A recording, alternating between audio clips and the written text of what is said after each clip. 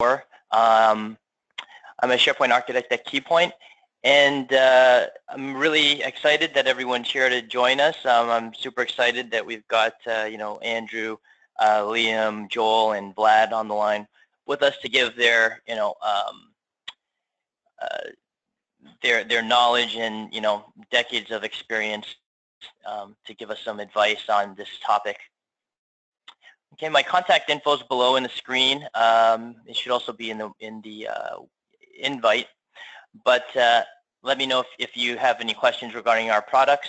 Um, near the end, there there will be a link to get to the expert series homepage. It's on keypoint slash blog slash experts. Um, it's also in the email invitation that you, you, should have received. So you'll be able to get updates there as well as some PowerShell scripts and um, an infographic at the end in, in a couple days from today uh, will be posted as, as well as uh, this video recording. We'll be having a uh, record, uh, sorry, a webinar tomorrow as well as um, next week on Tuesday for a follow-up for this series and it'll have a demonstration of one of the products by Keypoint to do cleanups, okay? I'm going to go over first the agenda of what we'll be covering. Uh, I'll make some introductions of the experts for those who uh, you know may need to learn a little bit more about who we have here. Uh, we'll cover then the expert advice. Basically, it's going to be in a question and answer format. So we'll have uh, uh, different topics, you know, around development for Andrew, infrastructure for Vlad, um, you know, etc. So we'll have uh, that section of the webinar. We'll be covering the questions and answers. We won't be able to uh, answer every single question out there regarding uh, SharePoint cleanup, but we've gathered some of the most frequently asked questions nowadays that these experts have been getting um, and, and, and sharing them with you. During the webinar, there's a question section in your GoToWebinar panel. You should be able to see that uh, where you can post questions that you might have to ask the experts, okay? So for all of our um, episodes for the expert series, you'll be able to ask these questions and have direct access to these experts to, to get answers. And um, let me just jump in right now for a second and just say, anytime during the webinar, you can use the question and answer panel and put in your questions. And those questions will will be what we're going to build our collateral and content. Um, will, will basically be the questions we answer. So I, I would highly recommend us if you if you're hearing some of the things we're talking about and it spurs up ideas, feel free to put those questions in. We definitely don't want blank empty empty time. So we definitely welcome your questions. Right, exactly. Thanks, Joel.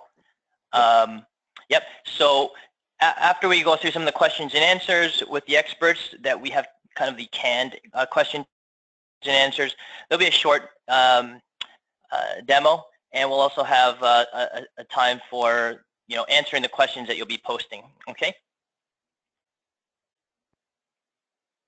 So let me go to the introductions. As you heard uh, just now, the voice of Joel Oleson. Um, Joel, many of you may know of already. Uh, I sure have uh, heard of him long before I actually met him.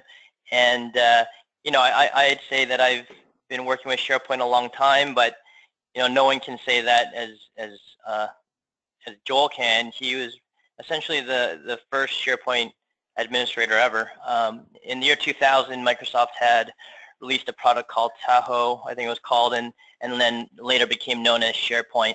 And Joel was the um, part of the product team there, um, and essentially was the first, the first SharePoint administrator ever.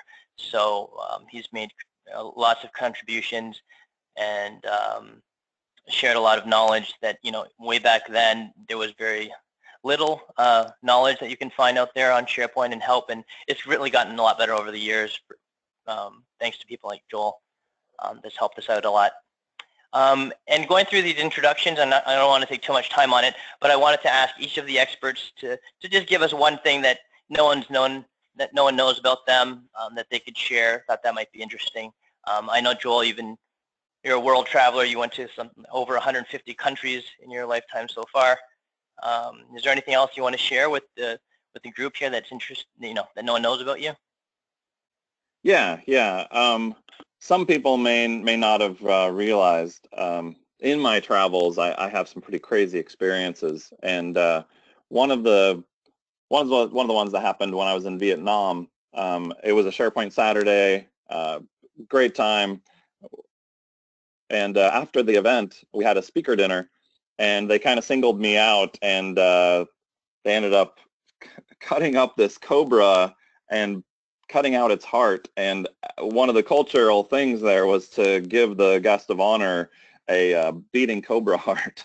so I ended up uh, shooting with some uh, some uh, anyway with a drink, um, uh, this beating cobra heart. it was pr pretty crazy. In fact, Ducks got a video video of it. I'll have to dig that up at some point.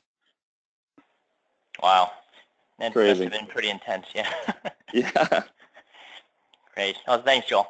So, um, let's see, there's, we also have Liam, our uh, SharePoint uh, security guru. So any questions relating to SharePoint security, um, you can you can direct at Liam.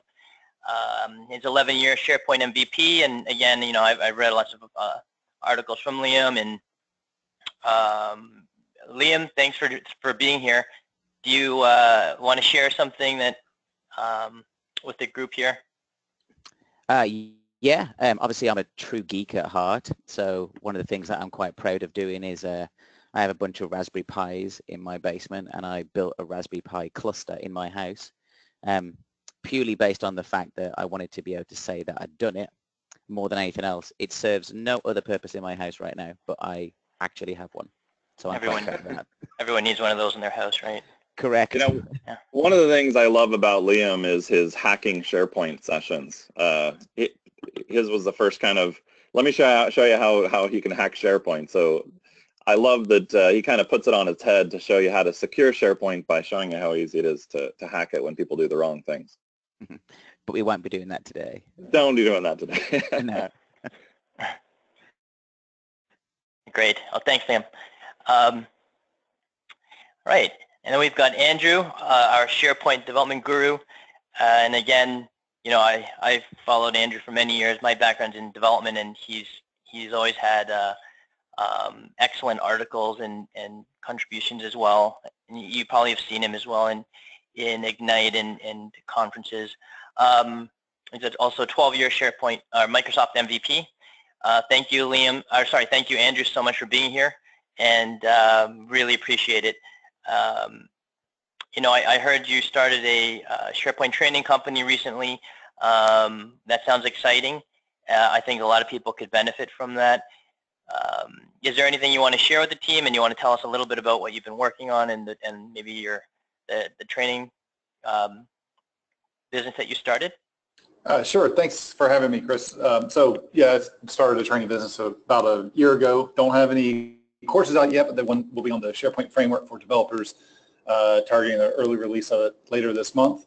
Um, I guess interesting fact about me, nothing technology-wise, but um, going back many generations, uh, there's a guy named Daniel O'Connell, which is the great liberator of Ireland, who is a great, great, great, great, I don't know how far you want to go back, grandfather of mine. So I uh, got a statue of a relative at the center of O'Connell Street in Dublin, Ireland. Awesome. Wow one of the greats, mm, like yourself too. I, for me, anyway. leading people away from PHP development. There you go. you know, what's well, interesting about Andrew is he's been doing training forever. I think he was one of the first SharePoint trainers, um, working way, way, way back. Um, some of the first SharePoint training stuff. I remember meeting Andrew at some of those early, early um, training sessions. I'll poke fun at myself. When you can't do, you teach. So there you go. nice. right, well, thanks, Andrew. It's great to have you too. Um, and last but not least, we've got Vlad, our IT pro expert infrastructure. I know I've used, uh, there's an article, I know Vlad's written many, but uh, maximizing uh, SQL Server for SharePoint, I used that for many years and it was great. Um, anyhow, thanks uh, Vlad for everything you, you know, your contributions and for being here today. Um, is there anything you want to tell us about uh, yourself uh, dark secrets or something. Hey Chris, uh, really happy to be here. Well, uh, so actually the thing I had prepared, you all told me that I had to find something really funny to say about myself and then you're all being super cool, epic travel adventure stuff. So it's not fair. Uh, the thing I was gonna say is that uh, something funny. So I'm the only one, I think, one of the panelists today that is not from actual the U.S. And in Quebec, there's a lot of like fast food and a lot of things that we don't have that you guys have in the U.S. So one of the things that I had to do every time I travel to the U.S., I always try to hit up either a Nando's, a Chipotle, or a 7-Eleven to get a big gulp. there you go. That's Uh, fine. on the more serious side, I have to be like cool like all the other guys here. I think I was one of the youngest SharePoint MVPs out there. I got my MVP when I was 21. So I don't know if that's a good thing or a bad thing. I got uh, the SharePoint depression when I was young.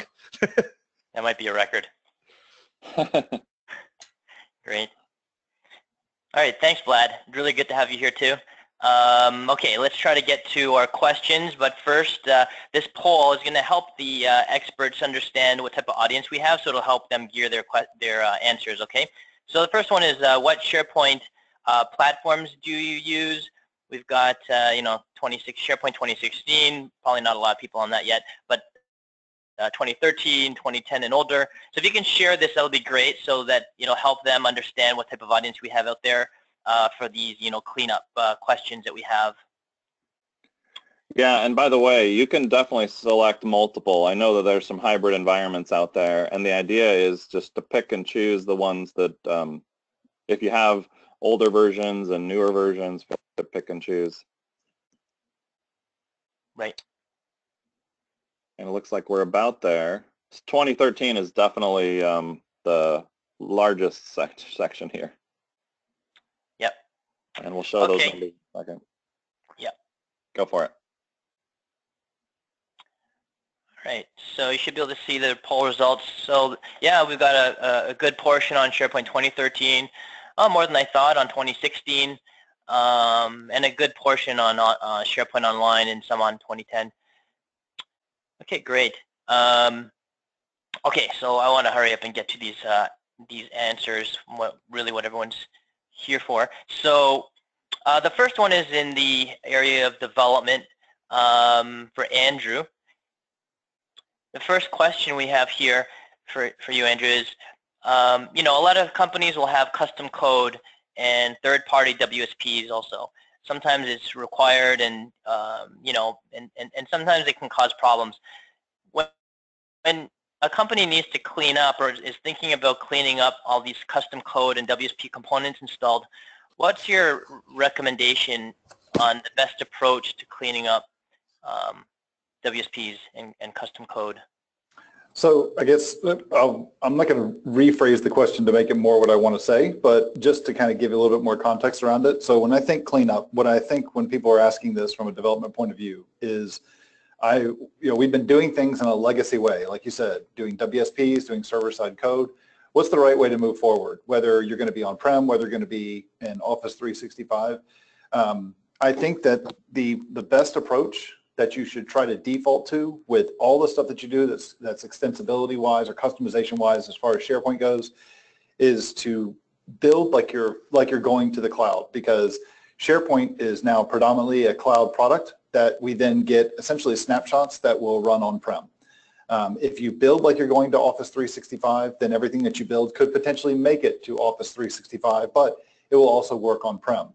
Uh, later this year, we're going to see a feature pack come out for uh, for SharePoint 2016. I'd expect that we see that um, in September uh, at Ignite is when they'll probably announce it. That's just my reading the tea leaves and Microsoft taking advantage of a big event um, at Ignite in Orlando uh, to be able to do that. So I think the best approach, once you once they do that, then if you're on SharePoint 2016, um, then you'll be able to focus on using the things that you build using the new framework that we're given to uh, use for extensibility. And that's the SharePoint framework where you build client-side solutions and you get a first-class de deployment model to ship stuff up to SharePoint, um, either on-prem or in the cloud. Now, that doesn't help the people who are still on SharePoint 2013, which I know we had a significant portion of those people uh, that were uh, that answered that poll so that they, you know, they're on SharePoint 2013. Um, and people, of course, that aren't even on 2013. You're still on 2010. or even older than that, 2007. For those of you, I, I apologize, or I not apologize, but I sympathize. Um, the the approach that I would take in terms of cleaning up is that I think that anything that you build, you want to try and port it to being a client-side solution type thing, something that is ideally is going to run in the browser. Uh, so using JavaScript, HTML, CSS images to build your solution. Now, I know there's a lot of traditional SharePoint developers that are out there. They're going to roll their eyes and say, not interested in going there. I like my server-side code. So that's fine.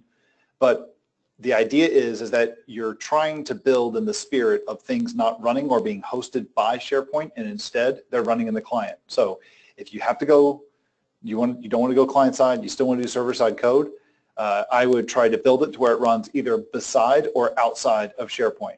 Um, so you're not going to use the SharePoint uh, server-side object model. You're not going to be building uh, certain, you know, WSPs and features and stuff like that. Instead, what you want to be focusing on is building something that's going to run outside or external to SharePoint that either a client-side solution is going to be able to call from SharePoint. Uh, so something, say, hosted in AWS or in Azure or in the Google Cloud Platform. Um, things like if you're doing, you know, uh, event handler type stuff. Um, we have the capability to do that kind of stuff using Azure Functions and certain all the different serverless technologies that we have. But I guess to sum it up is that I think that whatever you have, if you're trying to clean up stuff and you're trying to move forward, uh, is you're going to have to rebuild the things that you've built as WSPs and running server side. And you're going to want that stuff to either run, I would first try to make it run client side. Not everything is going to be able to be, is to run client side. And not everything is going to be able to take advantage of the SharePoint framework. So then your next kind of fallback is, okay, well, let's build it to where it does, it can run outside of SharePoint and can talk to SharePoint using the different APIs and uh, SDKs that they have, that Microsoft has made available to us using the client object model or just using the REST APIs. Great. Thanks, Andrew. Yeah, I think, um, yeah, I myself, I went from server-side code and going to CSOM wasn't actually as bad as I thought. Um, but uh, but thanks. So it, so it, sounds like you know you're you're you're saying recommended is to to move to uh, a client side model as much as possible. Um, I, mm-hmm. Yeah, I would say. I mean, I think that that's going to give you your your easiest transition um, to taking advantage of future versions of SharePoint. Microsoft clearly does not want to host your server-side code inside SharePoint or in Office 365 anymore. The more you try to do that, the more you're just kind of you know bucking the trend of trying to you know push a rock up a hill. It's just not going to happen. That's not their that's not their business model. That's not Microsoft's interest. So I think it's better to adjust what you're doing if you still want to extend SharePoint or develop on top of SharePoint. And so to that respect, you know, embrace what they're trying to do, pushing us to the client, pushing us off the server, pushing us to external hosting environments like Azure, like AWS, like GCP, or like your own, if you're on-prem, like an IIS box, like, you know, if you want to do stuff like Azure Stack, there's plenty of options for doing it. But if you're building a DLL, if you're deploying it to SharePoint, you're you're you're essentially deploying to a brick wall. It's there's there's only so far you're going to be able to go, and Microsoft is making no investments in that area. So yeah, something, I would. Something uh, I, I, just want to jump in here for a second, guys. Uh, this is Joel. Um, I I've noticed that a lot of people who are trying to get out of their custom code solutions they built on-prem, that if they if they look at it in as evaluation process, and essentially when those things were built, it was a buy versus build, and they decided to build. If you reevaluate buy versus build in relation to cloud, there's a lot, there's thousands of custom add-ins and solutions. Um, and I hate to name any kind of by name, but as an example, one of the very popular ones is Nintex. And Nintex has got your forms and workflows and you know, as an example, you know, there there are hundreds and or thousands of those types of solutions that whether you're trying to orchestrate something or trying to build a form, um, you're in Intexes and K2s, and you know, there's there's a ton of people out there that have basically built a lot of the heavy lifting for you. And I think some people need to just start over with, hey, maybe there's a framework, um, which actually may come up a little bit later, the word framework, but um, I think that that idea of buy versus build, you may want to actually start over with that idea or that concept of buy versus build. Right, that's a good point. Um, I'm biased because we sell third-party products, but yeah, I think uh, it's it's a it's a good option to to look at. Um, okay, I want to keep moving because uh, I want to make sure we get to all the questions here. But uh, thanks, Andrew. Then that kind of leads into the second question for you is um, if if moving if, if coming to the question of you know I've got my old server-side code, why would I want to go to the SharePoint framework? Um, what are the top you know not all the advantages, but maybe the top few, three, or your top advantages to why you would suggest moving to the SharePoint framework, which would you know benefit me over you know finan you know it's more economical or support-wise. You know, what are the advantages? Um, I think the biggest one is this is where Microsoft is moving, where they're investing everything. Um, the big thing, you know, they're all of their Microsoft's new extensibility pieces that they're doing in SharePoint Online and Office 365 and OneDrive, what are eventually going to be coming to SharePoint on-prem as well. They use the SharePoint framework. So if they're building their stuff on top of the SharePoint framework, that's considered, that's what we call first party. Um, we third-party developers, the people that are out there and who are going to be um, uh, when, when I want to build something for SharePoint as Andrew Connell, I'm third party. So I'm using the same framework that Microsoft is using to build their own stuff. Uh, I know that they're going to be adding more and more features to it. As they add more and more features to it, I get to take advantage of those as well. This is just the direction that they're going. So should you convert old server-side code to use the new SharePoint framework? It's if it's stuff that is that you eventually want to run on in Office 365 or in future versions of SharePoint if you upgrade, yes, it's in your best interest. But then again, if it's stuff that you don't ever plan to go to Office 365, if you don't ever plan to upgrade from SharePoint 2013 or 2016, then you know you got to just you got to weigh that decision on does it make sense. Okay, great. Um, so mainly you're saying if, if, if there's a reason where you are likely going to the cloud in the future, then you, you would recommend to look at using the SharePoint framework for its advantages. Otherwise, it's, you know, it's, it may not be completely necessary if you're going to stay on premises. Yeah, I mean, yeah, exactly. I mean, you look at it from, from greenfield or brownfield development, greenfield meaning a brand new thing. I would first go to the SharePoint framework because that's what Microsoft, that's what they're, that's where they're investing for Share, for SharePoint Online, SharePoint 2016. For brownfield stuff, which is I already have an existing environment, I got some existing solutions. Should I migrate it? It's like every migration. Let's look at what we have. Let's see if where, you know, it, does it make sense to migrate it? Should we just leave it where it is? Um, is it, do we want to take advantage of, of redoing this thing now and, and, and uh, uh, adding new features to it and stuff like that? If so, hey, maybe I want to, maybe I do want to go through and use a new, uh, this new framework. So it's all a case by case thing. It all, you know, classic SharePoint answer, it depends. Um, but yeah, that's the, that's the direction I would go. Right. No, that makes sense. Um, okay, and, and again, for anyone that's just joined in, um, there's a question section.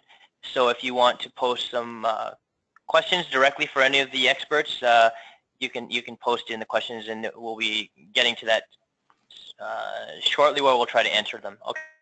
Okay. All right. So let's get to infrastructure um, slash administration, however you want to call it. But um, the infrastructure side. Uh, we've got Vlad. Um, so the first question for Vlad, for you, Vlad, is uh, you know for for you know I've got a SharePoint environment. I need to maintain it. You know, what are the top three things would you say that I absolutely have to do to make sure my environment is is you know is healthy or is you know making making uh, sure that it's uh, not falling apart. You know, like there's patches and so forth. What are the top three things you would say that you have to do for an admin? Sure. So uh, number one is keep the devs like Andrew Connell in check because devs always break stuff. Now I'm joking. But uh, yeah, so Uh, this is Andrew. You're not joking. I'll be in I'll be in Orlando soon, so I want him to bring me to the SpaceX launches and everything again. So I have to be nice. but uh, okay, so uh, one of the things that, and I talked a lot with customers, what are your priorities? Because keeping SharePoint healthy, keeping SharePoint fast, and keeping SharePoint secure are the top three things that uh, SharePoint admins should take care of. One of the things that has really gotten a bigger bigger importance lately is make sure your SharePoint stays up to date. We've seen this even this year, we've seen this quite a few times where there's been hackers that attacked systems only because they're out of date. And if they're on the latest patch, if they're using the latest version of Windows Server or uh, Windows Client, they would have never had that bug. And hackers were able to get into like banks, government agencies, only because they're using outdated software. So make sure that you're actually installing the latest updates for SharePoint. And I know that SharePoint has a bad reputation with the reliability of its cumulative updates. And I mean, it's absolutely true for SharePoint 2010 and 2013. Microsoft didn't deliver the biggest quality cumulative updates. They've been like fixing one bug and introducing three new ones. But with SharePoint 2016, it's been almost, I think it's been more than a year so far. There hadn't really been any bugs introduced with public updates. So the quality process is a lot better. Uh, they've been shipping stuff and testing stuff a lot more. So make sure that both on the Windows Server side and on the SharePoint site, you're keeping up to date with the latest security patches so you don't get hacked because you're probably hosting a lot of sensitive data on SharePoint and you don't want to be the next company in front of the newspaper with documents that have been leaked to WikiLeaks. So that's number one. Uh, number two is make sure that you have you look at those reports. SharePoint has a lot of useful reports built in there's also a lot of third-party tools that are able to tell you how your infrastructure is doing, how is everything doing. I know a lot of people that never go, for example, in their search service application to look at their search crawl logs. Uh, sometimes when I go as a consultant there, I go to make a health check and then I realize like, hey, you realize that out of like the, like say a million documents you have in SharePoint, you have 300,000 errors. And those are actually not only people cannot find them. And as you know, search is how people find things those days. So basically, nobody looks at those documents anymore, and they probably upload them two times or three times because they think it's not there. But it also makes your crawl database and a bunch of databases get huge because it's storing all that 300,000 errors every day when you do a crawl or every 15 minutes because it's not able to find them. So make sure that you look at you look almost every day at do I have any new errors stuff in the event viewer? Do I have any errors on my network? Do I have any errors on the SQL server? Do I have any errors anywhere like in the search service application? So make sure you monitor those, make sure that you uh, look at them and you understand them and you fix them as soon as possible. Uh, there's a lot of SharePoint errors, especially that usually they're like out of the box errors. Whenever you install SharePoint, you don't even have a site on there and you already have 25 errors in the event viewer and in the health check. So I know it's not all of them that are mandatory to for you to look at, but make sure you monitor because there's some really important stuff there. And sometimes you'll see that a site collection went from one gig to one terabyte overnight. And this can have a huge impact if you don't monitor it this can have a huge impact when your SQL Server drive or your host databases gets full. Well, it might all go down. So make sure you monitor your SharePoint. And lastly, this one is not really, well, it's for regular maintenance as well as for uh, the security. And I know Liam will talk a lot, talk a lot more about security, but make sure that all your stuff is secure. Make sure that uh, you use HTTPS all over the place. Uh, a lot of companies that I still uh, go to is like they still use HTTP. They don't really care about uh, the security because like uh, that's inside the network anyway. So make sure that you secure everything and make sure that you document everything as well because you never know when you have a new person coming in and if your SharePoint infrastructure is not documented or if you don't play with SharePoint every day, if you're not a dedicated admin, Make sure you document all the changes. Make sure you document when certificates expire. Make sure or when other stuff in your infrastructure expires. Make sure you have all that documented as well as procedures of what happens if, how do we change it? What if, if we have a solution deployed, where does it affect things? So if I ever do an update, I know exactly when, I know exactly where I have to update it. So those are kind of my top three things. Okay, great. Thanks, Vlad. So I got uh, first is mainly patching, making sure your environment is, you know, up to date. um, with the patches. And I know you said a lot more. I'm just uh, trying to summarize, but uh, Oh yeah. yeah. Um, again, these are going to be recorded this webinar, so anyone can play it back um, to, to hear all the answers. Uh, number two is make sure to read, you know, event viewer and their logs. Uh, you know, a, a, lot of times I've been to environments where no one reads the logs and there's plenty of errors and people just don't know what the users are going through if they can't find things or if things are, you know, having errors with search. So that's a good one. Um, and then number three, make sure you use uh, HTTPS and make sure that you're documenting your environment. And, and, and that's another one that a lot of people overlook, I think. So um, is that right, Vlad? I got those. That's about it, yeah. Yeah. Okay, great. Um, the next one we have for you, Vlad, is, is around content databases. Um, what are what are you know what what what would you say are best practices in, in ma maintaining and cleaning up um, you know content databases, large ones, or what would you what do you look at when you when you're looking at content databases? Sure. So uh, I look actually look at a few things. First of all, I know that SharePoint 2016 supports uh, databases up to one terabyte, no problem, and it's still within the uh, off between the best practices. However, it's uh, try to keep them small because when you keep your database really, really big, it will first of all it will make it actually a bit slower and also taking a backup of your database because I'm sure most of you take backups on the SQL side and not on the SharePoint side. If you take a database of a 200 gig database, it's so much, it's a lot faster to take the backup. It will be easier if you ever want to restore it. It will restore a lot faster. And if you ever want to move it to a QA environment for testing after or for a refresh, it will be a lot easier to do. So even if Microsoft supports huge databases and actually the the actual remit for like inactive site collections is like four terabytes.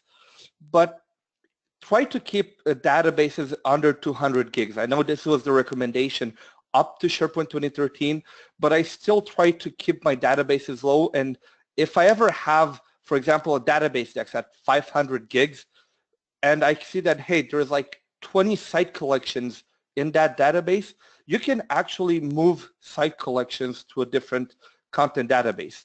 With PowerShell, you can use the move SP site, and then you can create new content databases. And of course, creating new content databases is free. So it's not like you have to pay or anything.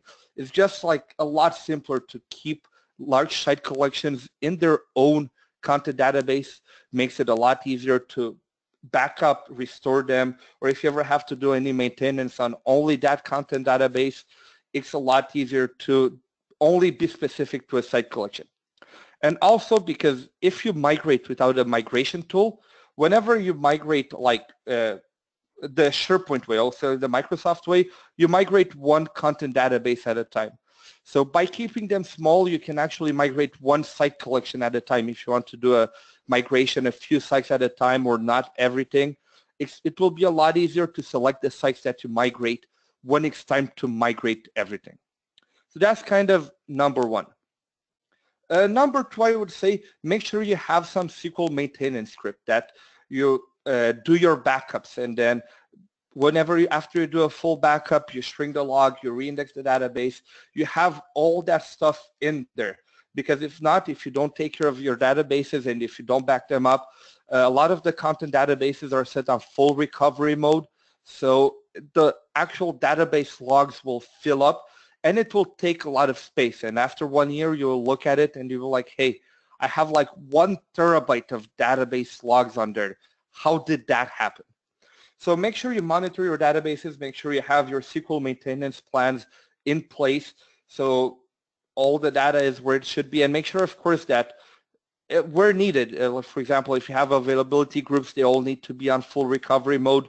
If you're not doing, for example, I have a lot of clients that SharePoint is not business critical. And that's fine. I mean, I love SharePoint, but it's not always business critical. And they only take SharePoint backups once a day because that's that's what they need for their system. And that's, I mean, that's fine if that's what they need. If you only take a if you don't take log backups and you only take a database backup once a day, you don't need to have full recovery mode. Put it to simple recovery mode and you're not, if you're not doing database backups, you're not going to need that log file anyway. Also pre-grow your databases. Uh, and that's one of the things I say often for optimization is that uh, make your model database, make sure that when you create a new content database, you can actually pre-grow it. So by default, when you create a new database in SQL, it will take the size of your model database. So if your model database size is 8 megs, which is by default, your new content database will be 8 megs. You can, if you don't want to change the model database, simply go into the content database and make it maybe 1, 2, 3, 4, 5 gigs from the start, depending on how much content you plan to have in the first six months. So this way, you really have, the database doesn't have to auto-grow. SQL has this mechanism where if ever the database reaches its current size, it will use the auto-grow mechanism to actually grow more to have space for new files. But if you have, like say, a 100 meg database, your auto growth is set at 1 meg, and somebody uploads a 10 meg document, well, the database will have to pre-grow 10, to auto-grow 10 times before that user is able to save that document into SharePoint. So that will make everything a lot slower. So make sure to go into your content databases, make sure to look at what their current size is, uh, how much free space is in there, and if you see there's not, not a lot of free space, pre-grow them. So this way they don't have to auto-grow and it will be ready for people to start adding documents and collaborating without waiting on SQL Server to auto-grow databases. So uh, that's about it. Great, thanks, Vlad. That's a lot of good information there. Um, so just to quickly recap, so I heard, uh, you know, to to help maintain your content databases and cleaning them up, uh, you recommend still, although the the limit has been increased to one terabyte, I believe, or uh, higher, um, to keep it under 200 gigabytes and, and use PowerShell perhaps to to to move a, a SP site or, or a site collection to another content database. Um, and number two, the uh, make sure you have your maintenance plans, your SQL maintenance plans running on schedule, and that you're doing backups to to make sure that the logs get uh, shrunk or truncated. Um, and number three, you can pre you know use a use a model um, database or or make sure that you set the right database characteristics and settings, and you can pre-grow databases for when you're creating new ones um, to help with maintenance. Does that sound about right? That sounds really perfect. okay, okay. okay, great. So um, one more poll is, uh, you know, what are your top cleanup priorities? And again, we'll, we'll um, post these. Uh, so, so when you're thinking of cleanup, what is the most important uh, cleanup topics for, for you? We've got permissions and security, you know, is something that you're really concerned of, of with, with cleanups in your environment.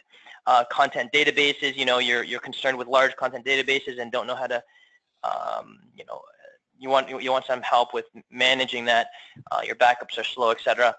Pre-migration and server-side code. So when you're, before migrating, you may want to um, look at old server-side code or, you know, maybe pre-migration is something that you're, you're working on right now that you need help with or some advice with cleanups. Um, or, and then we've got another option for performance. So, you know, uh, cleaning up to optimize performance for, for, I guess, the end users. Okay, so the, so the votes are coming in. Uh, I'll, be, I'll be sharing this in a moment.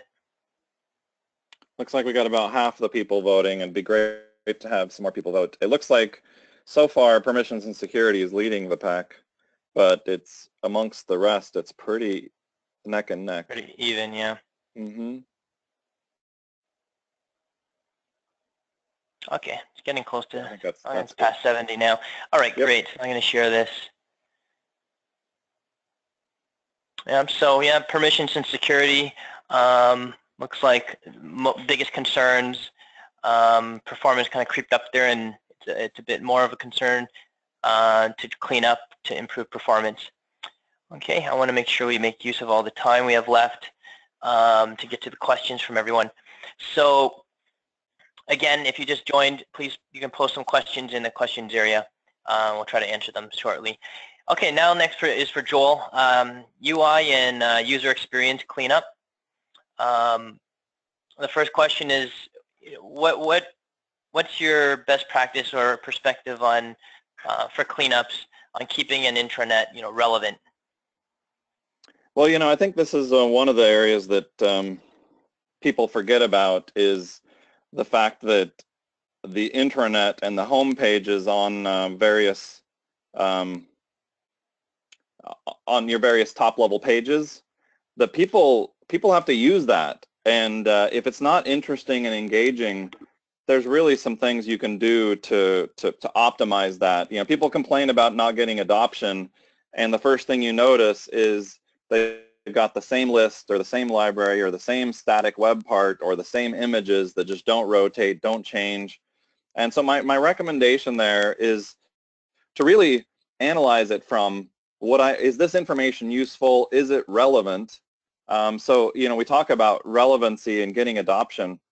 If you've got a bunch of static content, doesn't matter whether it's the intranet or your SharePoint sites, but there's there's so many web parts that have been created that just simply are not being used by teams to um, to basically make your your site more interesting and engaging. I think that the new communication site, as an example, is one that's designed around being able to, to show the new news as an example and show what's kind of going on in a site. Well, imagine if the top level site has the same news from two years ago. As soon as somebody visits that site, they notice, oh, great, this is, you know, it's, it's not even relevant. Somebody's not using this site. I mean, people will basically turn off and say, I'm going to stop following the site. I don't care because it's not relevant. And the funny thing is, is two levels down, there's some list that's going nuts. And so really, there's a lot going on, but if your pages aren't reflecting that, you're going to have adoption issues and you're going to have people that are going to just dismiss SharePoint and say, well, SharePoint doesn't show me relevant things. It's, it's old, it's arch, you know, needs to be archived. So that idea of keeping things fresh is, is the other part of it. Um, you know, so, so it's making it, building eye candy, I, I would say is kind of that first thing as, as a best practice of making it dynamic and relevant and then keeping it fresh. So often it's, people will sometimes keep the responsibility all for themselves, but it's much, much better to actually get the departments and divisions sharing that burden. And very soon it doesn't have to be a burden. Like there was a guy once on an intranet and he was like, you know what, I, I hate our news component. I was like, what, what do you mean you hate it? And he's like, he was, he's like, I have to create news um, once a week, and it's the worst part of my job. And, I, and I'm thinking, well, if you hate it, what do you think the people who are reading your news are, are going to like? And I'm like, stop, stop, stop creating news that is not relevant or that is, is news that you hate. You know, you're just doing it to do it. People are going to not enjoy reading it. People need to be writing about the stuff that they care about. Um, and anyway, I'm, I'm sure I could go on and on, but it's a lot about fresh and dynamic and uh, focusing on it on things that can can be automated to to keep showing the documents that are new. Show show the fresh side of your your SharePoint sites for your intranet. Great. Thanks, Joel. Um, okay, so so mainly is um, you know there's a lot of high. You're saying there's a lot of pages and high visibility pages you want to look at to make sure from a cleanup perspective that uh, you've got fresh and relevant information there, clean up the old archive, you know, get rid of the old content perhaps and make sure that you've got things that people can engage with. Um, hopefully I didn't miss anything, but uh, I think that's yep. mainly the, the goals that's, there. That's the gist of it. There's web parts built into the product. As an example, content query, the search web parts, you know, basically there's a lot of stuff that's in the box that can help you get there. In addition to all the third parties that build more, you know, eye candy type stuff. But, right. Yep. Great. Okay, and then the next question we have is when doing an upgrade, um, you know, there's so many new apps that come out from Microsoft and, um, you know, there's third-party tools, but even just with Microsoft apps, like there's Flow and there's, you know, there's, there's, there's Microsoft Teams um, and Planner and so forth. So when, when using in SharePoint, and there's a new technology that we might want to move to to replace old ones, um, what would you yeah. what would you suggest would be the approach? Yeah, That's that's a good question. So essentially, you're you're going to the new version. The first thing people do is they want to pick it all up and then dump it into the new version. And often with customers, I like to say, let's let's do an art of the possible. Let's actually explore explore the new technology and talk about how do you want to take advantage of it. And let's actually build the destination and then we can decide what we want to pick up and move into it. If you simply take your 2013 and, and simply dump it in 2016, guess what? It's going to look and feel exactly the same, and it's not even going to feel like a new version. Um, it, it's going to be a painful experience. You're going to hate it. What's much better is you build out your destination. You know, maybe you're looking at one of those new fancy uh, communication sites, or maybe you're looking at uh, an intranet in a box from one of the dozens of third parties that builds a really nice, new and exciting intranet built on top of Office 365 or SharePoint 2016. And then you're kind of saying, what do we want to put into there so that when, when we have these dynamic web parts that pull, bubble up technology, we're really looking at good stuff. And let me give you kind of one key thing here is as an example, you're going to keep pushing your old InfoPath workflows and the poor experience that they have in terms of doesn't work on this browser or doesn't work in mobile or I can't print it to a PDF. There's so many things that are wrong with InfoPath and if people could just leave it in the grave or let it die and move out of it into Flow and Power Apps and any of those third parties that are out there, um, you're going to have a much, much, much better um, experience than just saying, you know what, we're just going to upgrade it and then maybe eventually we'll get to it. Um, that that forklift scenario of pick it up and dump it is is is got to go. And especially with Teams, how many teams are now using Teams rather than using old SharePoint sites? And if they're not, what how can you map it and actually look at that strategy of leveraging Teams? So so much better. My team barely uses SharePoint um, in terms of collaboration. You know, we use it as an upgrade as an intranet platform, but for the most part, our team does all of its communication in Teams now, and the documents automatically go into SharePoint. It's a much, much better use of the technology. Great, great. Thanks, Joel. So, um, so in other words, kind of stay away from the big forklift and just taking everything from your old and dumping it into new just just because it's new and kind of take a step back and analyze what is in this new technology and what you can take advantage of um, and where a lot of these new technologies are definitely beneficial to replace things like InfoPath, and um, but to stay away from when you're moving, to stay away from just kind of dumping it into the new platform and just uh, exactly. I, I feel like you're shooting yourself in the foot when you just say, you know what, we're going to move it, then we'll think about it.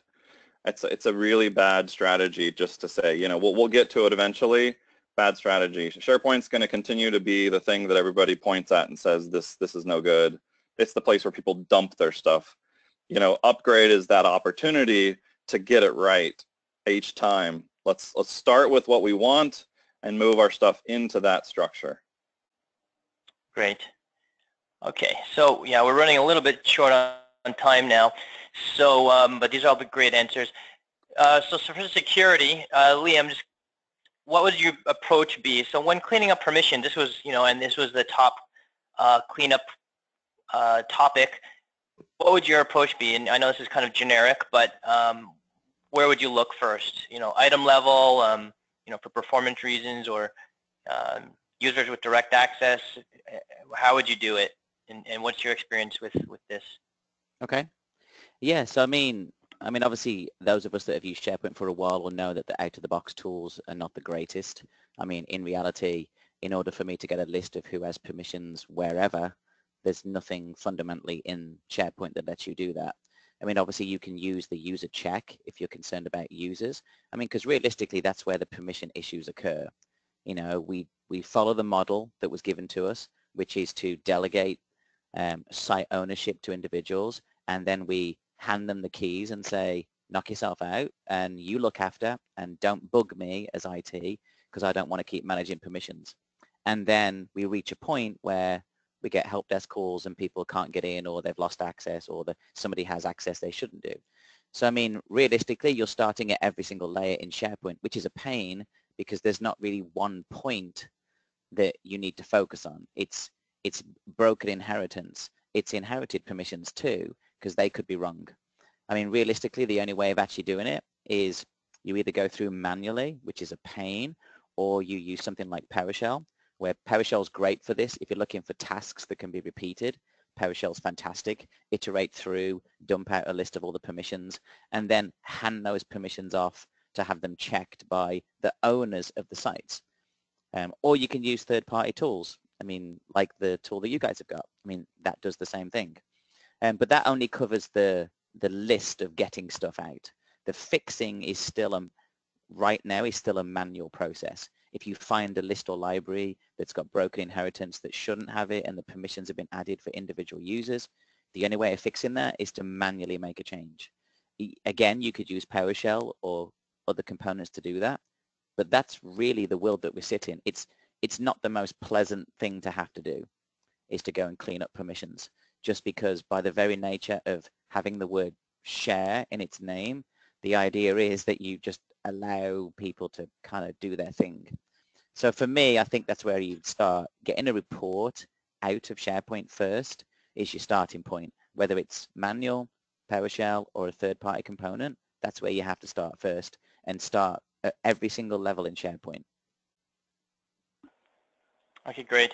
Um, so so what I hear is uh, there's really no out-of-the-box um, permissions tool, you know, to get a, a, big overall picture.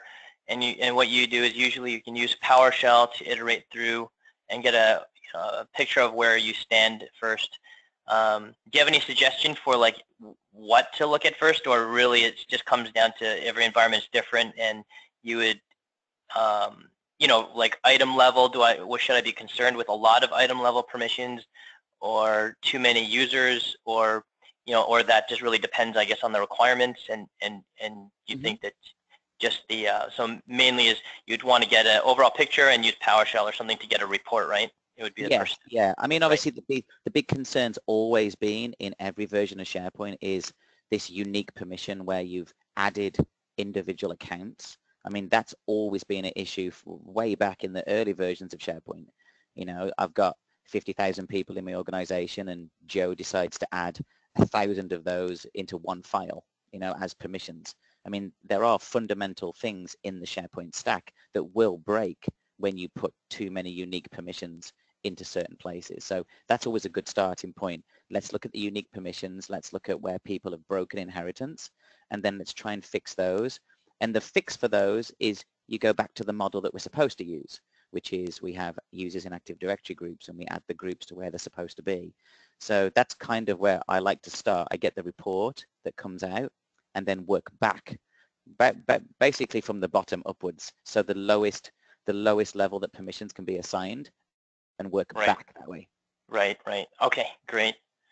Okay, and I apologize everyone that uh, you know we're, we're, a bit late on time, so um, the the webinar will go a little bit past the hour. I know some of you might have to drop off for meetings, but uh, let's keep going. Um, if you can try to, I guess, quickly answer this one, Liam. Um, for for an overall strategy for cleaning up SharePoint, what would be the goal to, you know, do you have any idea of like a overall, you know, using AD groups, for example, would be one, I guess, but, uh, you know, I don't want to put the answer in your mouth, but I mean, sure. you know, what what strategy would I strive for? You know, not using individual users, or what would you, you know, that might be it. But what what would you say? I think realistically, I mean, historically, Microsoft had always pushed, you know, use Active Directory groups. That's going to be your boundary. Never add individual users. But in reality, that doesn't work um, because it. There are times where you do need to have a smaller subset. I mean, I, I've walked into clients before where they have 10,000 plus Active Directory groups just for SharePoint. And that's purely based on them having to create an Active Directory group for every type of permission that they ever wanted to have. Now, you, now that's great, but that meant that managing Active Directory was awful. It was a pain for them to do anything, and it also meant that IT had to manage everything. Whereas in reality, the best practice is to kind of do what Microsoft had always said, is have the users and have AD groups, put the AD groups in the site groups and assign the permissions in the site groups. However, don't be afraid to put individual users into a site group where needed. Now, it doesn't make any sense really to have AD groups and site group and individual users together, but where possible, if you do need to break inheritance or you do need to have unique permissions, then be realistic about it. If you need to have unique permissions for 50 people, go and create an AD group for it. If you need unique permissions for five people, you don't need an AD group and you can just assign the permissions where you need to. But it goes hand in hand with the first question is make sure you know that that's what you did. Because nine times out of 10, when I do an audit of an environment, no one seems to know why something was done. So even though your best practice would be AD users, AD groups, and site groups, which ultimately maps into the way SharePoint Online works as well, you still need to know that you have those changes so that you can say, well, actually, we broke inheritance here, and this was the reason why. So it comes back to that governance kind of management stuff as well. But that's that's really that's really the best practice. If you follow what it is, AD users, AD groups, site groups, and then break where you needed, when you make the move to SharePoint Online and Azure AD, that's exactly the model that Azure AD and SharePoint Online uses. So you'll be in the best place. That's the ultimate place to go to. But obviously, just don't go crazy with all these users everywhere because that will that doesn't bode well in Office in, in SharePoint Online either. Right. And again, going back to your answer for number one, I think that helps once you have uh, some kind of a mechanism or your PowerShell or some type of reporting tool in place, then you'll, you know, you can rerun that to get yes. an idea of where things and kind of maintain things and keep things clean. Yeah, and I, I, I think just to add, I think that's like one overarching thing is too often what tends to happen is, you know, you have someone come in, you help build a SharePoint environment, it's all good to go. It's super. It's got fantastic content. All the permissions are right. And then the next time someone looks at it and has an audit is a year later. I mean, there's a lot of changes that get made in a year and then trying to retrospectively go back and fix permission things that were done six months ago that you don't remember why, it's really, really complicated. So I'm always a great advocate of, you know what, let's run this report. So I worked with a client recently, um, they're based out in Tampa, and they run a set of PowerShell scripts every 30 days. And every 30 days, it runs out, does a security report, brings it back, it gets sent to the owners of those areas, and then they make changes those, those 30 days. But of course, understanding that not everybody has the resources to do that. But with something that can be automated, it's a piece of cake. And I, I would suggest, you know, at least every quarter have an audit done so that you can capture these issues. Nothing worse than finding that someone's got permission that shouldn't have permission and then they take content that they shouldn't have. And my last little thing, Chris, before I let you go, is um, say no. Uh, sounds funny, but when just because the CEO says he wants access, tell him no, because he may not need access. That will be your biggest win in controlling some of the security issues that I see, is when somebody says, I need full control to that, the answer is no, you don't. Explain to me why you need access. I know it's a hard conversation to have, but you'll save yourself the hassle in the future. Great. Thanks, Liam. Thank you. Okay. Okay, so we've got uh, uh, another poll here, and again, um, this will be recorded, so uh, I know some of you might need to drop off, but what uh, this poll is on the upcoming episodes, what would you what would you find, um, uh, what would you like to address in upcoming episodes? What do you think is the most uh, important to you? And okay, so this poll is already launched, and we've got, you know, what are the most powerful favorite features of SharePoint 2016? Uh, maintaining a hybrid environment. We've got, um, you know, like Office 365 and on-premises. Microsoft Flow and Power Apps, that's a hot topic. Um, artificial intelligence in SharePoint, how could I leverage it? There's a big buzz around that right now, so is, is there anything there? Um, and then if you have any other um, you know, topics that you'd like us to discuss in the next episode, please post it in the questions. Okay, so about uh, almost 70%.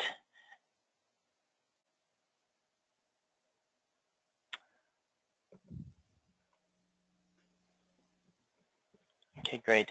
Um,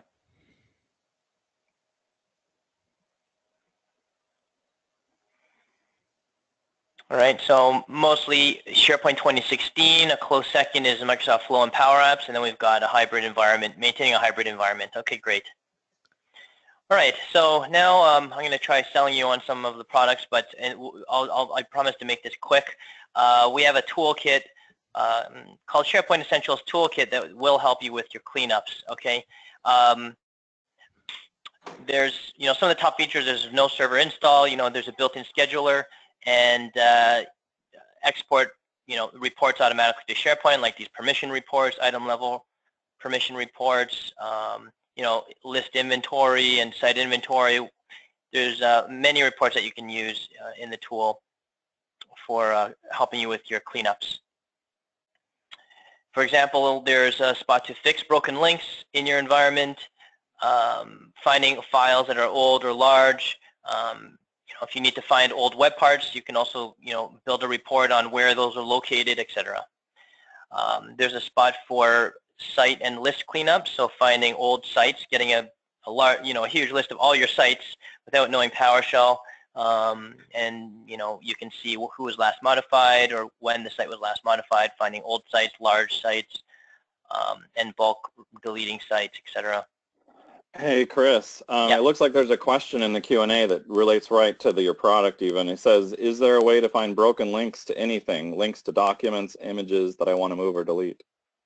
Oh yeah, so there is uh, a component, um, part of SharePoint Essentials Toolkit called Broken Link Manager. So after doing a migration or uh, even just doing a cleanup, you know, you can find all the dead broken links inside of web pages and web parts, inside of files even. So inside, it has very deep scanning capabilities, so it will find links inside of files uh, like PDFs, Word documents, etc uh, in metadata in your navigation, and it will also do automatic find and replace, so you can put in the uh, um, find replace rules. Um, and, and we'll have a, a, webinar tomorrow as well as next week. You'll get a, a, email invite for for if you want to participate in that. But yeah, it's called Broken Link Manager. It's on our website as well. So um, yeah, thanks Joel for pointing that out. And there's Uh, another one. Uh, let, let me just give you this as well because I think it'll Okay. help you as you're um, doing your covering your stuff. Yep. I've customized a lot of pages in Designer. Now I hear they won't cleanly upgrade. How can I find all of them to get ready for upgrade? And and I imagine this probably works for a lot of things where it's like, hey, I've got a web part on there I want to remove from a lot of pages, or I've got a lot of, you know, I'm sure there's a lot of scenarios where it's like, help me find this thing, um, such as a JavaScript snippet or whatever. Oh yeah, yep. So we have an item query tool, um, which was a couple slides back, but that will allow you to find web parts, uh, scripts even. Um, you can paste the text. It supports regular expressions, so you can. It'll build an Excel type of tabular report with all of the locations of all of the you know matches that it will find. Um, so it'll parse inside of documents as well. So even looking for an old CEO's name or departmental name changes, um, scripts, etc. So old error, you know, web parts, or if you've migrated and you've got error, web parts that show, you know, error web part cannot be displayed, it can help you find all of those in a single report. Okay. Um, and then here we've got the permissions. Uh, thanks again, Joel. Uh, we've got the permissions here. Um, like Liam was explaining. So it goes across sites. You know, I, have worked with SharePoint quite a while, not as long as Joel, of course, but um, you know, this is always an issue. And I could write PowerShell, but you know, not everyone can, and and you know, updating it and so forth. So this tool will allow you to do that. Um, okay, so um, we have a short demo after, but I want to get to the questions because that's what I've. Um, we've got a, a bunch of questions here that we want to get to, and some of them we have tried addressing while we're speaking. So Joel, I'll, I'll hand this over to you, and we'll we'll we'll try to answer some of these for maybe a, a few five minutes or so, because I Yeah. know it's it's a bit long. Yep. Yeah, yeah, no problem. So I'm, I'm just going to pick and choose a few random ones. Yeah. Um, somebody says they got a new job as the SharePoint 2013 admin, and they're wondering if there's any ideas on what they should do first. And they're saying they do know how to use PowerShell, but they're not sure what to do first. It hasn't been managed for two years. Sounds like a great cleanup project. Where do they start? Anybody on our panel want to jump into that one? Vlad? Oops, sorry. There we go. Yeah, no, I'm still, I'm still here. So, of course, somebody had to remain on mute and talk without actually talking, right? That's what we were Exactly. talking about earlier. Yeah. Okay, so when when you're the new SharePoint admin, what do you do? Uh, first of all, try to find out uh, what what do you have for like what are people using SharePoint for? For how long they've been using it? How important is the, is the stuff that they have under? Because then after that, you'll maybe find out that hey, I actually don't only have a SharePoint farm. I have five SharePoint farms that I need to take care of. So make sure you try to talk to people, try to see what SharePoint sites they use, and you try to document what the infrastructure looks like in the back. Uh, then the other thing that I do is I always look at the backup settings because I don't want to be the new admin and then on my second day have somebody come to me and be like, hey, I've been using this site for a while and I really can't access it today since somebody has deleted it. Or I deleted this by accident and I want to restore it. So one of the things I make sure is that proper backup procedures are in place. So if anything happens, I know like I can restore it and it's not going to be a crisis. And other than that, try to see if there's any cleanup you can do. Try to see if uh, maybe this is the chance to actually migrate to a SharePoint 2016 and also clean clean it up. Uh, make sure you like, or if you're staying on 2013, make sure you update uh, to the latest updates, latest cumulative updates, uh, and so on. So you're up to date. Thanks. Um, this next question um, is uh, best practices for site collection design hierarchy for SharePoint Online. And I, I want to be, I want to kind of make these a little bit quick. So I'm going to just give you a quick answer and then see if, um, I, I found that the site collection object is, is a great object. If you're doing collaboration, use site collections. Don't go super, super deep. Um, if you're doing intranets, yeah, keep it contained within a site collection unless you're getting really, really large. And then um, Microsoft has to worry about your database since you're in online but ultimately they're much easier to move around if you've got them as site collections, even with um, even with SharePoint Online. Um, but in terms of hierarchy, like I mentioned in the uh, the previous question, I was kind of saying build out that hierarchy and then kind of move into it is a, is a good good way to go, good approach. Um, here's a one for Andrew. Tell me about cross-site publishing and when best to use them. So like here's an example of a new, you know, to them cross-site publishing may be new, what's a good example of when to use that? I might actually be a bad person to ask for this one. uh, I haven't done this and I haven't looked at this kind of stuff in many, many years. So I would, I probably would defer to either, probably either you or Vlad on this one. Yeah. Okay, so cross-site publishing, I, I think, in my opinion, the only one where the time when it's useful is when you want to have like, I don't know, a public site and an internal site or uh, really like the site that is people facing and a, I'll say a QA site or a non like uh, not the site people are using and then you want to have a lot of people enter content on the actual QA site or on not the production site and then you want to have different rules on when the content gets published what status does it need to have does it need to go through like 10,000 modifications and then when it hits a certain status, then it gets published on the actual site.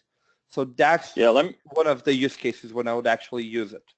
And I, and I would say that, you know, those there's Microsoft kind of saying, hey, here's the feature, here's how it works. And then there's reality. I actually haven't hardly seen anybody use this particular feature because replication and SharePoint really don't don't exist. And so when it comes down to it, when it's like, oh, that sounds fantastic, I'm going to make a site and then have it go out to the extranet and keep those in sync. That's not how it works. That's not how reality works either. Um, if somebody really was truly looking for replication, I would say they should be looking at a third-party product. If you're trying, trying to say one time, then you're talking about migration. Um, and there's better migration tools than cross-site publishing too. so you got to be careful, I would say. If it's just a list, then maybe you can get away with it. But in reality, I, I don't see it. It's kind of funny but I don't see it. Um, how do I remove deleted AD users from site collections but not disabled users? I was able to do that on Control Point, but now haven't been able to do it on SharePoint Online. Um, a lot of fun PowerShell, I would say. Yeah. So yeah what you'll gonna... have to do is like you're gonna have. Oh, sorry, Joel. I'll let you go. No, no, no. You go. Okay, so uh, without getting too technical, basically, you're going to have to use the SharePoint Online module and the Azure AD one. You're going to have to go look through every site collection, do a get SPO user for every user that's there. Just do a check to see if they still exist in the AD. If they don't exist from the AD, delete them from SharePoint. That's about it, but PowerShell is your answer over here. Yeah. Yeah, and I, I was wondering if Chris had an answer to how they might be able to do that with the tool. Yeah, well, at the item level, you can use the tool to parse, um, you know, files. That's what they're trying to do. Trying to find uh, users that um, it's like deleted users, but not disabled users. I think it's some kind Oh, of um, trying to clean up the site collection from these people no longer exist in the company, but they're still showing up. Um, and so some some people they want them just to stop showing. Uh, I think in SharePoint land we like to keep them around, so it's like that person really did create that document, so they're going to stay in the user info table. I don't know if you know what I'm talking about. Yeah, the user information list, yeah. Mm-hmm. So basically, some of those permissions just stick around even though they're no longer in the company, and so they want to like remove them, remove them without, you know, they're they're just disabling them in AD because that person maybe got hired again, but you don't want to leave the permissions, especially if it's an external facing environment. Or there, some people may be worried about it, even though it doesn't do anything. Yeah. Well, the tool has two reports that can do it. There's so there's one aspect where it's the permissions report, so you can build a permissioned report across the sites and then gather the site level, list level, item level permissions, and then you can filter. Um, you'd need to know who the users are uh, for that report that you're looking for that might be not there anymore, and then you can filter that report by those users and it'll show you where they are located. Another one is called the orphaned user report um, as part of the SharePoint Essentials toolkit that will allow you to uh, find ones that are disabled or deleted from Active Directory but present in SharePoint. And then there's the item level report where if, if it's like in the user information list or you've got references to that user, the item level report can, can search for a user by display name or username. You just enter the text that you're trying to search and it'll, it'll match metadata as well as the people picker fields if you, if you need to find them like that. So. Cool. Um, and kind of one of the things I'm seeing in, in a few different questions, I'll try and kind of consolidate it, is um, people who've, they want to find the content that's no longer being used. So sites, site collections that just really aren't being used anymore that they, they can then archive. Any, any recommendations there? Yeah, I mean, that's going to be PowerShell. That's the easy mm -hmm. one if you're going to use out of the box. Or you could actually use the Essentials Toolkit as well that Chris is talking about because that actually does the same thing. You have the ability to trawl through the content the same as you would if you were going to use PowerShell, I suppose. And then you're basically check in for dates of when things were done. And then you're initiating a delete or archive or whatever else. Um, so there's two different ways of doing it. The the toolkit does it really, really well. I actually quite like that, the way it does it, because it means I can keep running it again and again and again which I'm always a great advocate of being able to schedule something. There's no point going through the effort of, like Vlad said, writing some majorly complex PowerShell and then never running it again. That makes no sense. So trying to have something you can run again, but definitely the toolkit does that, um, and that works really, really well. Find sites, content, libraries, lists that have been sitting around for ages, and then giving the ability to clean them up too. Yeah. Any recommendations? Oh, go go ahead. Thanks, Liam. Uh, something just to add on what Liam said is that uh, you can do it for PowerShell, but it doesn't really work well. One of the problems with PowerShell, it looks at a lot of the hidden stuff, which you don't really have access or care. So when you actually do a get SPO site last content modified date, if Microsoft did an update on SharePoint Online, which happens almost every day or every, let's say week, I'll be generous. Uh, the thing is, it will update your actual last content modified date from PowerShell. So the information you get a lot of the times from PowerShell is actually not true unless you do really complicated scripts. But if you try to use the site last content modified date, that is absolutely, that never works anymore.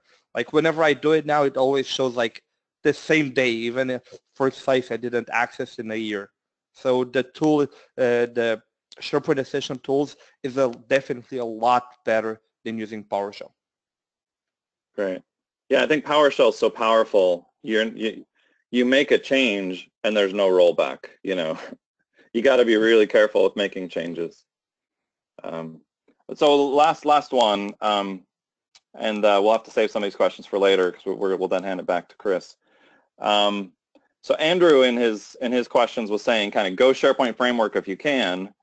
Um, this person's a little bit worried. They say, um, how can we be sure that SharePoint framework's not creating security holes in our sites? So uh, it's a good question. Um, and I know Liam and I both kind of chimed in on it, but I, I would say that just to rehash what we said or just kind of go a little bit further, there's, there, first of all, there's nothing that SharePoint Framework is going to be opening up holes for you. Um, this really is, this problem or this issue, or however you want to look at it, is no different with the SharePoint Framework than it is with anything that's custom development. Uh, when you're building something with custom code, you can easily make calls out to external sources or to have that consume stuff from external sources. And the big thing is always going to be to do to have code reviews of what you roll out into production. There's just no other way around it. There are there are technical solutions for this. You can put up certain rules and firewalls to block access, outbound access or inbound access to things. Um, but I mean, even as I've spent time working on a Defense Department uh, server deck at a you know the top level security uh, requirements that we have uh, here in the United States, and I can tell you that it's just, it's technically, it's, it's almost impossible if you're going to have any kind of an external access to your application or for your users to get out, unless you put up a complete block. It's, there's no way to technically just put, to, to keep this from happening. To me, it's going to be making sure, look, looking at where you're referencing stuff, making sure that with the SharePoint framework, we have things like CSS and JavaScript that can be hosted in CDNs. So who has access to deploy to those CDNs? Who has access to change that JavaScript? Um, there is absolutely nothing stopping me from rolling out a web part that I put in a SharePoint, I deploy to a SharePoint site that references a JavaScript file that's living in an Azure CDN. It's all deployed, and without my customer ever knowing it, I could go in, change the JavaScript, and now when the CEO goes to the site, I can then I am I can then uh, run my code under his access because he's the one that's logged in, so he's the one that's actually running running the JavaScript and I could go use the Microsoft Graph or I could use the SharePoint REST API to go get data from anywhere inside of um, SharePoint. Now, the way I would stop that from happening is a code review or making sure who has access to change that JavaScript file. That's, that is more of a process thing that you have to implement. Uh, the technology has nothing, really has nothing to do with it. That's good. So let me let me hand this back to uh, to Chris. All right, thanks. Thanks, Joel. Okay, so thanks again, everyone. I apologize. It, it went over a bit. We just have so much. Uh, we've got good information here, and uh, um, we've got uh, one more poll for for those who are on here now. Uh, um, how should we follow up with you? So, uh, for the SharePoint Essentials Toolkit, or um, you know, any questions you have um, for any of the experts.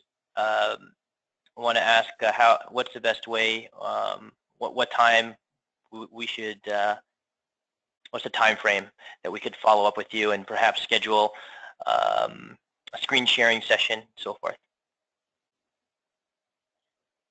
Yeah, I think some people would probably like to see the demo. So anybody who really wants to see the demo can can choose this as well of like when they'd like to yeah. see a demo.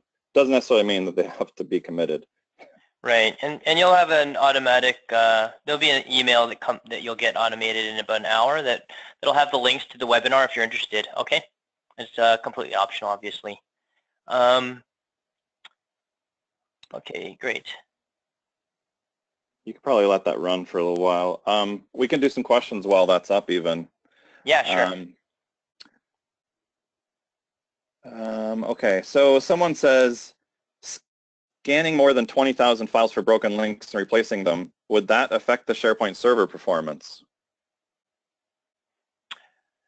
Using the toolkit, um, no, well, the, the toolkit is using web services, it's using CSOM. So when it's reading files and opening files, it, it, it caches it into memory on the, you know, on the local machine um, under, you know, under the account that you're using and it's it's similar to I guess opening a web page, but hundreds of times a second. So it depends. You know, if your if your if your SharePoint environment is already a little shaky and at its max, then you know opening using the toolkit to scan for broken links for 20,000 files, you know, it typically it won't have any uh, significant performance degradation. But you know, do your testing, and um, it's you can you can compare it similar to uh, opening files um, on your web browser, but just many times because it's gonna you know open that those files, open the web pages, etc., to read them for parse them for links. Yeah, and I would say that a lot of this comes down to when you talk about performance, doesn't matter whether it's PowerShell or, or the tool using CSOM, it comes down to how many threads. And so if you're writing your own code, you can manage performance impact based on the number of threads. And uh, so that's that's basically how you could manage your performance. If you're doing one thread or 10 threads, you're, you're, you're not going to notice it on the server because it'd be equivalent to 10 users doing, you know, opening up files and so on. So you know, recursively, but uh, you get the idea. And um, I just want to thank everybody on the panel who, who joined us today. Um, thanks for hosting this, Chris. Oh, no problem. Yeah, thanks you guys for joining. I mean, uh, it was great to have such an all-star cast here to, to give all the different angles. I thought it would be, you know, we, I mean, Joel, we both thought it was, you know, it's a good uh, way to spend people's valuable time is, you know, I think to get a good overall view of of uh, certain topics. So thanks yeah, everyone. Thanks, thanks, yeah. Thanks to the audience for we got more than 50% who who stuck with us this extra half hour. So I I think we appreciate that too. And if if you wanted to end with that video, I think you probably could. Yeah, so we do have a, a, a video that we have um, to share of the SharePoint Essentials Toolkit. It just shows a few things. Liam Liam was uh, kind enough to record it and demonstrate some of the uh, features of the tool. So let me um, start that.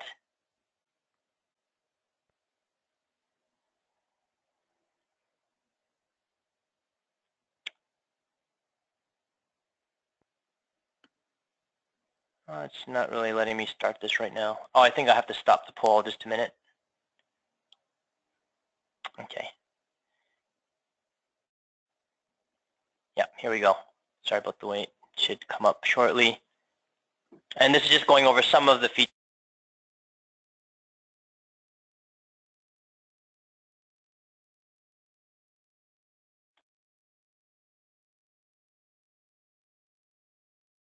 Okay, thank you everyone for um, for staying on. I know there's still quite a few people still on, so thanks for watching. The uh, I hope you found it useful. The uh, demonstration that Liam did of the SharePoint Essentials Toolkit. For our future episodes, um, planning to schedule them every uh, two or three months, um, possibly sooner, but uh, they will be, you will get an email alert if you want to, uh, you know, join future episodes.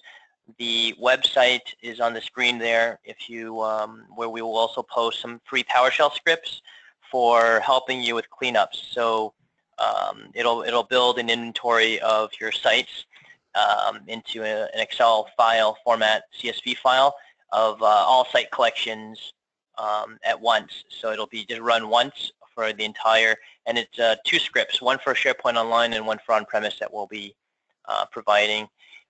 There will also be a free infographic that we'll be posting so that you can use that um, if you need to regarding uh, SharePoint cleanups and some statistics about, about that. Okay, we'll also, of course, be providing the uh, webinar recording at uh, on that site. All the questions that we weren't able to get to, uh, we'll be trying to address them in a future episode um, and posting the uh, these answers uh, into the, into the site uh, there as well. Okay, so thanks again, everyone, for joining. it's been really great to have everyone.